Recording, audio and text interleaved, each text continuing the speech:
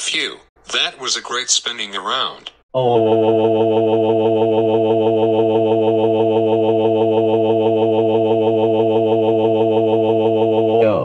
Junior, how dare you spin around at school? You know spinning around at school is not allowed to do that at all. You could fall down and hurt yourself. You can spin around at home, not at school. That's it. Go home right now.